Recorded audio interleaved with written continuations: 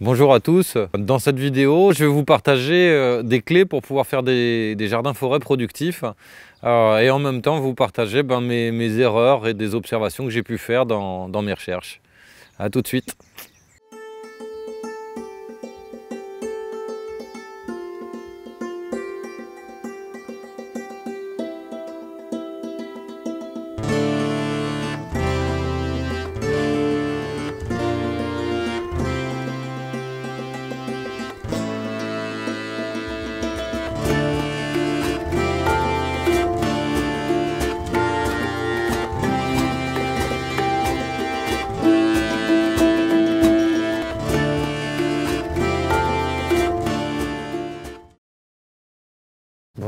m'appelle Franck Natier. Ça fait une vingtaine d'années que je fais des recherches sur les jardins forêts et sur les systèmes de, culture multi-étagée. Je me suis intéressé aux, plantes sauvages comestibles, je me suis intéressé à l'arboriculture biologique, au maraîchage bio.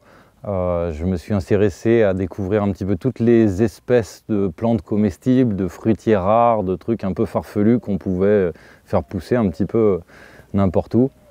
Je me suis beaucoup intéressé à la régulation écosystémique aussi, à la vie des sols, à la compréhension de pourquoi les sols sont auto-fertiles en forêt et, pourquoi dans nos systèmes euh, de production, ben, on est constamment dans des carences. Euh, et je vais euh, vous partager un petit peu mon, expérience de toutes ces recherches que, j'ai pu faire. Alors déjà, je vais commencer par, par trois grosses erreurs que j'ai faites et que je vois à peu près dans tous les livres qui sont écrits sur les, sur les jardins forêts et, les systèmes de culture multi-étagés.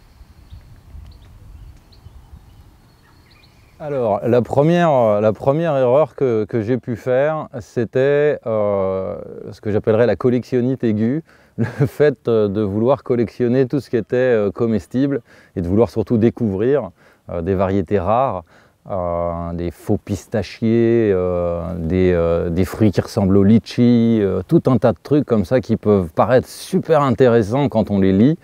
Et puis quand on les goûte, on s'aperçoit tout ça pour ça. et donc bah, j'ai pu observer qu'il y avait quand même beaucoup beaucoup de plantes qui étaient non seulement improductives, enfin pas très productive. Hein, si c'était pour nourrir l'humanité, même en, tant que masse, on n'a pas grand-chose à manger, mais en plus c'est pas très bon. Mais surtout des plantes qui potentiellement peuvent être envahissantes, ou en fait au bout de 5 ans, 10 ans, vous regrettez vraiment d'avoir mis cette plante dans votre jardin. Alors je pense à des plantes comme euh, l'égopode, euh, qui est une plante qui est envahissante. Euh, je pense à des plantes comme l'ail euh, triquetre aussi, que si vous l'installez chez vous, bah, il y a des chances qu'on en retrouve dans tout le département dans 10 ou 20 ans des plantes euh, comme des plantes totalement inintéressantes et envahissantes comme euh, le Leicesteria formosa, l'arbre au faisan, euh, avec ses baies au goût de caramel qui en fait sont vomitives en fait. Hein. quand on mange ça, c'est écœurant. on en mange une fois ou deux et puis après on gère le fait que c'est une plante envahissante et on se débrouille avec. Euh, des plantes comme le sarrasin vivace de l'Himalaya, pareil, une plante qui est relativement envahissante, qui est rhizomateuse en fait, qui fait des rejets un peu partout et qu'on mange comme un épinard mais qui n'a pas vraiment un, très bon goût. Donc pareil, on en mange une fois et puis après on, regrette d'avoir mis ça dans son jardin. Donc euh, moi dans les accompagnements que je fais avec mes clients et avec les stagiaires, euh, j'essaye de vous éviter, de vous apprendre à éviter de mettre toutes ces plantes et à choisir les bonnes. Donc ça pour moi la première erreur c'est euh, de, vouloir euh, euh, collectionner tout ce qui est comestible, de faire un espèce de jardin botanique de tout un tas de trucs mangeables mais qu'on mange même pas nous. Et donc à moins qu'on soit pédagogue ou botaniste, on va faire des visites pédagogiques, on va parler de plantes en latin, mais concrètement on ne va pas forcément nourrir l'humanité.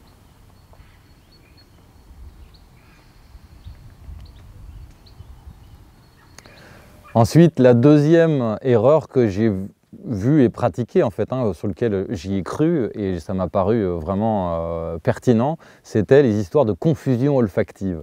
La confusion olfactive, c'est le fait de, brouiller un peu les pistes pour les, euh, pour les insectes. Par exemple, le Carpocaps de la pomme, euh, c'est un petit papillon, et qui va passer de pommier en pommier en pommier, et donc on va vous dire d'alterner et puis de mettre un pommier, un poirier, un prunier, un, pêcher, un pommier et d'alterner comme ça. Bon bah moi de mon expérience, les carpocaps et les maladies et les parasites s'y retrouvent très très bien. ils vont très très bien passer d'un arbre à l'autre, enfin sauter un noisetier, sauter, euh, et à la finale vous aurez bien du carpocap sur toutes les pommes. La seule différence c'est que euh, vous aurez grandement complexifié votre récolte. Euh, un autre phénomène c'est que ben, si les parasites ont du mal à s'y retrouver, ce que je viens de dire, en fait, dans les faits, les parasites des pommes n'ont pas de mal à s'y retrouver. Par contre, ce que j'ai pu observer, c'est que les parasites du carpocaps de la pomme, eux, avaient du mal à s'y retrouver quand ils devaient faire plusieurs euh, centaines de mètres euh, pour trouver leurs ressources alimentaires. Et que donc, du coup, quand on mettait des groupes de pommiers ensemble, euh, plutôt que séparés partout dans le verger, euh, bah, on avait tendance à avoir les, prédateurs euh, des parasites qui s'installaient aussi plus facilement. Donc cette histoire de confusion olfactive, euh, à mes yeux, en fait, ça rend très compliqué les récoltes et la gestion, mais ça rend pas forcément plus compliqué pour les insectes le parasitage.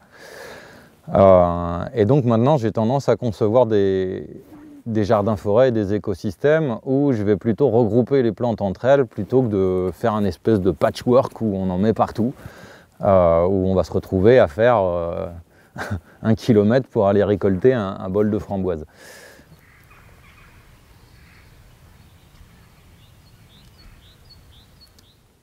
Et ensuite, euh, dernière euh, chose que j'ai pu, euh, enfin auquel j'ai cru, auquel j'ai adhéré, que je vois partout dans tous les livres, c'est les arbres fixateurs d'azote. on vous en parle vraiment comme d'une panacée et un petit peu tous les designers cherchent l'arbre fixateur d'azote qui à la fois fixerait de l'azote et donnerait des fruits qui seraient intéressants comme les pistaches ou les pommes. Donc on va vous parler de l'argousier, du caragagnier de Sibérie, du févier d'Amérique, euh, de tout un tas d'arbres de, la famille des légumineuses ou des éléagnacées. On va vous parler aussi des aulnes, glutineux ou, de tartariers, enfin des aulnes d'Italie. Euh, euh, et, on a tendance à dire que l'azote est, fondamental en fait pour l'écosystème. Donc effectivement, dans un écosystème, l'azote est fondamental.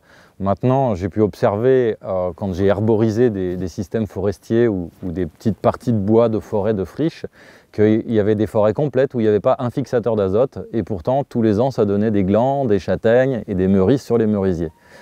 Donc je me suis posé la question, si c'est si fondamental l'azote, soit c'est qui vient d'ailleurs, Euh, soit c'est que c'est pas si indispensable.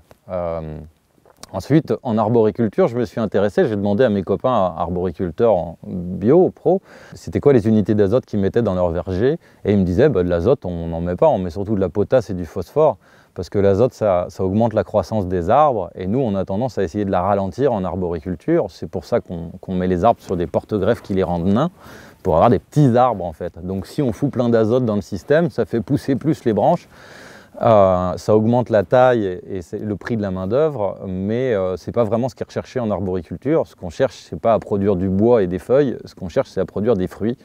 Et euh, le fait est, c'est que les fruits, ils sont plus nourris par le phosphore et la potasse que par l'azote. Alors de plus, avec cette histoire des fixateurs d'azote, c'est que les arbres ne libèrent l'azote qu'au moment où ils perdent leur feuillage.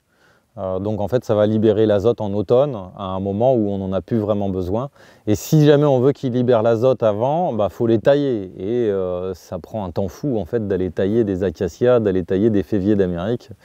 Donc moi j'ai tendance à vous conseiller, si vous voulez fixer l'azote, ce qui est une bonne chose, hein, euh, plus il y aura d'azote en fait, plus il y a de carbone et d'azote, plus il va y avoir de production de biomasse en général. Donc l'azote c'est très bien d'en apporter dans le biotope, le tout c'est qu'il n'y en ait pas de trop. Et euh, si on doit le faire, bah, autant prendre des, plantes annuelles, vivaces, des bisannuelles, des haricots rames du type euh, orteil de prêcheur, des haricots nains, des pois, des fèves, mais des trucs qui vont plutôt nous donner des choses intéressantes à manger plutôt que les, gousses de, de févier d'Amérique ou, euh, les haricots du caragagnier de, Sibérie. Alors maintenant, je vais parler des, variétés, des panacées, les, trois, les trois cadres qui sont vraiment intéressants dans les fixateurs d'azote. Donc on va voir le goumi du Japon, euh, l'olivier de Bohème, euh, on va avoir l'argousier. Euh, bon, si je prends comme exemple l'argousier, c'est un petit fruit orange qui est collé à une tige extrêmement épineuse. C'est presque impossible à récolter. C'est un fruit qui est très très acide, qui n'est pas très bon au goût. Hein, Acheter une bouteille de jus d'argousier dans une biocop, vous verrez, c'est pas, pas, pas très sexy au niveau du goût. Par contre, au niveau de la récolte, c'est presque impossible. La seule manière de le récolter, c'est de couper les branches, les mettre au congélateur, ensuite taper, puis ensuite faire du jus avec les petites billes. Mais ça prend un temps fou.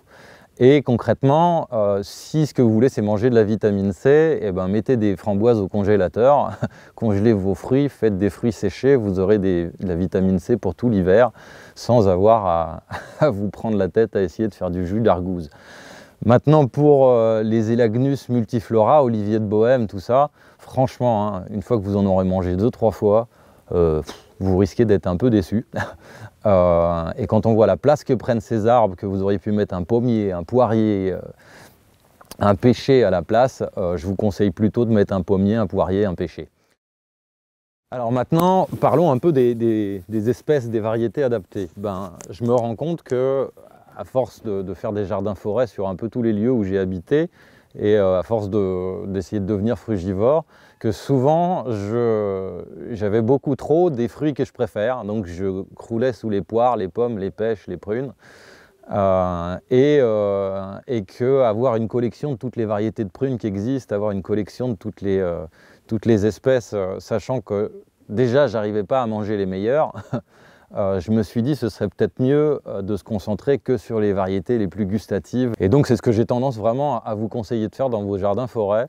Euh, plantez ce que vous préférez, plantez ce que vous aimez manger et euh, évitez de, faire de la collectionnite et d'essayer d'avoir, euh, pour une raison d'étalement, enfin moi au départ, plusieurs fois j'ai fait ça, hein, pour avoir l'étalement au maximum, pour avoir l'étalement de toutes les trises ou toutes les prunes, je me retrouvais avec plein de variétés de prunes ou de cerises qui finalement n'étaient pas bonnes et que je mangeais pas. Donc maintenant, j'ai tendance vraiment à vous conseiller de prendre les variétés que, vous préférez. Et là, ce qu'on va voir, c'est euh, ben, les, règles, enfin en tout cas tout un tas de règles que euh, j'ai pu observer pour pouvoir faire des jardins productifs. C'est parti